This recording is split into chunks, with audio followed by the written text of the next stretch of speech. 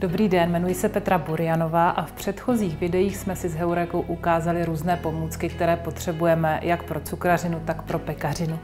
Ale co bychom byli za pekaře a cukráře, kdyby jsme neměli z čeho péct? Takže teď si představíme takové základní suroviny, které bychom měli mít ve spíži a v lednici a z kterých vytvoříme všechny ty báječné dobroty.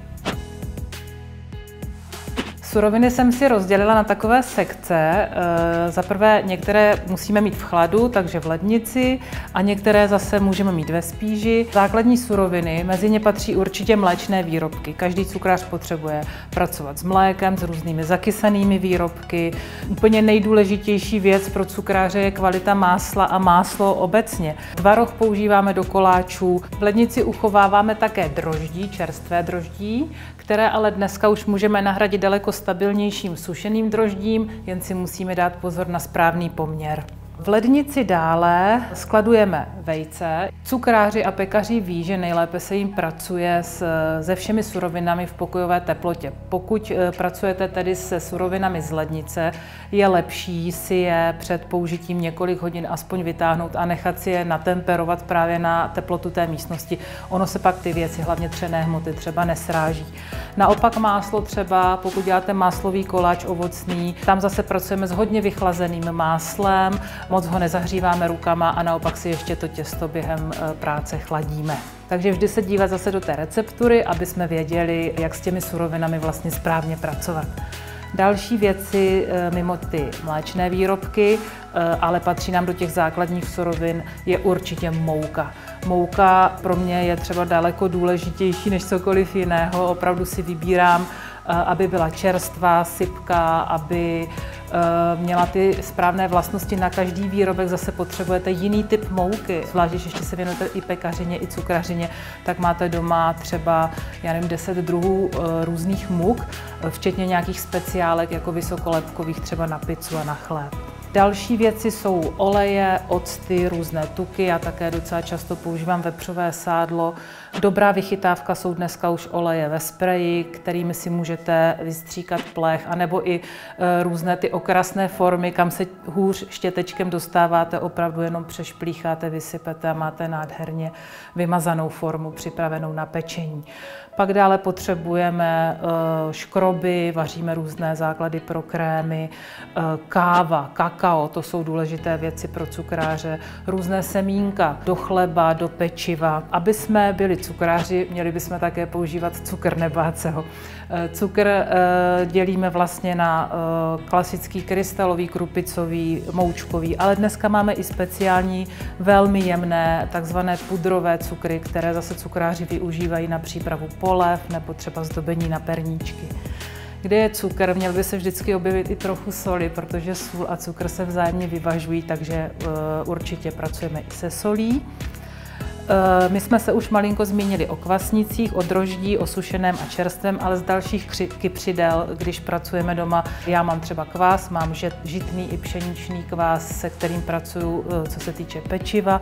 A potom používáme různé prášky do pečiva, jedlou sodu, které nám zase pomáhají v určitých druzích hmot nahnat objem toho těsta a zase pozor, sledujeme recepty. Do každého těsta je vhodnější jiné kypřidlo. Eh, některé kypřidla se zase nesnáší s kakaem, proto doporučuji vždycky respektovat ten recept. Když ho psal rozumný člověk, tak vám to napsal správně. Další věci, eh, vajíčka, já mám třeba domácí, potom máme různé sušené ovoce, to se velmi často používá, ale je dobré si ho, pokud mám kupované třeba rozinky nebo sušené ovoce, je dobré si ho před přípravou eh, spařit horkou vodou a třeba klidně i naložit do nějakého alkoholu, co by bylo české pečení, třeba bez rumu.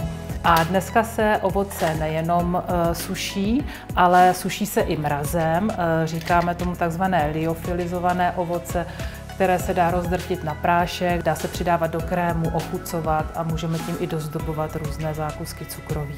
Další složkou, a to velmi barevnou, je koření.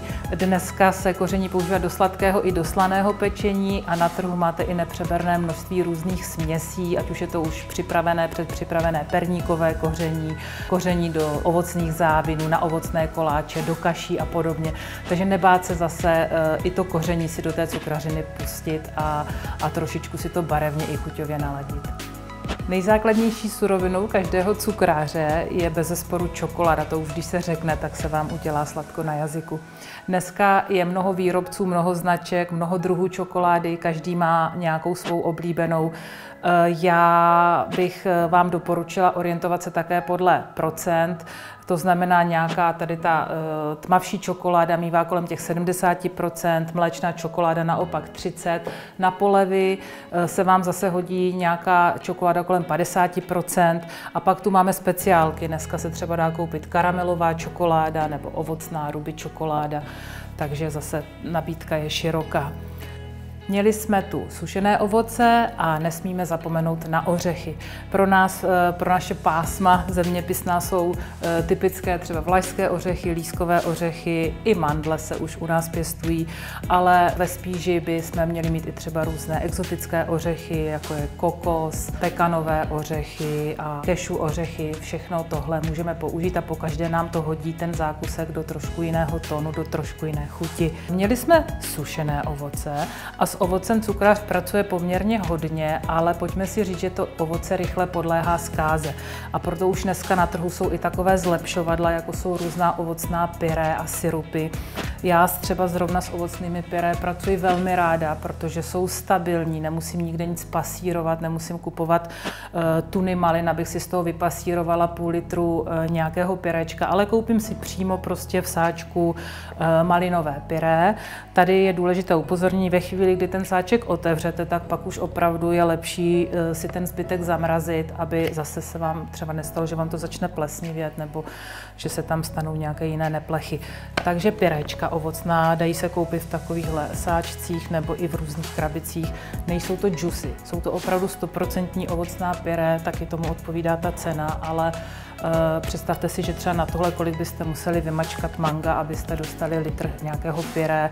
Nevíte, jak je zralé to mango z toho obchodu, takže pyréčka určitě doporučuji. Různé cukrářské výrobky potom dochucujeme alkoholem. Alkohol je po čokoládě moje druhá nejoblíbenější složka. Buď si vyrábím různé domácí likéry, tady je třeba griotka, určitě do českého pečení patří rum. Nemusí to být zrovna nějaký uh, aromatizovaný rum, ale dneska už zase na trhu je nepřeberné množství různých likérů, kokosový, ananasový, různě ochucené ty rumy. Takže opravdu se nebát, zase dostaneme si do toho zákusku takovou nadstavbu, takovou jakoby chuť navíc. Nebojte se s alkoholem v cukrařině experimentovat a vůbec se nebojte, ani když doma máte malé děti, většina těch alkoholů přejde vařením, pečením. Ten alkohol se ztratí, ale zůstane vám tam báječná chuť právě různých těch příchutí eh, a ten alkohol vám nese výborně tu chuťovou složku. Kromě různých druhů alkoholu máme na trhu i eh, různé esence a dokonce i parfémy do jídla dneska existují. Jsou to velmi koncentrované přírodní esence, kdy stačí opravdu kapička, aby se ten pokrm rozvonil a dostal takovou jako zase intenzivnější chuť. To znamená, i když do toho pokrmu nastrouháte dvě kila citrónu, tak tou kapičkou té esence tam dostanete tu chuť jako daleko pohodlnější a nemusí tam být všude jenom kousky citronové kůry. Prostě i s tímhle si cukráři v dnešní době hrají. Například existuje i růžová voda z květů růže, existuje extrakt z hořkých mandlí a tohle všechno vám pomůže, abyste ten svůj dezert povznesli vznesli a opravdu tam dali něco jiného, co tam sousedka určitě nemá. Dále pracujeme s různými Eh, přírodními sladidly, ať už je to třtinový cukr, může to být melasa. Včelí med je výborný, zase má specifickou chuť, má úplně jiné složení než cukr. Máme různé džemy, povidla, protlaky ovocné, dají se koupit, nebo si je můžete zavařit, koncentrovat, protože eh, v dnešní době je možná se klade důraz na to, že eh, bychom neměli nic vyhazovat, měli bychom šetřit, takže když vám cokoliv zbyde, není problém si zase s nějakým želírovacím přípravkem, pektinem, želatinou něco vyrobit a schovat si to na později a upotřebit to později. Z ořechu ještě potom můžeme vyrábět různé ořechové pasty, ať už jsou to pistáciové, různé praliné, které používáme třeba do krému, na dochucení krému. Eh, ty pasty si můžete také vyrábět doma, ale musíte mít na to velmi výkonný stroj, který třeba já sama ve výbavě ještě nemám, takže si kupuju už takhle hotové pasty a zase velmi intenzivní chuť, eh, daleko víc, než si nastrouháte jenom oříšky do krému, protože ty pasty jsou tak nadrcené, že se uvolní i oleje a zase vám nesou krásně tu chuť těch ořechů. Představili jsme si základní suroviny, které by nám neměly chybět v lednici ani ve spíži. U některých dražších surovin, jako je čokoláda, ovocná pyré, ořechy nebo ořechové pasty, je dobré kouknout se na heuréku a srovnat si ceny. Určitě se to vyplatí.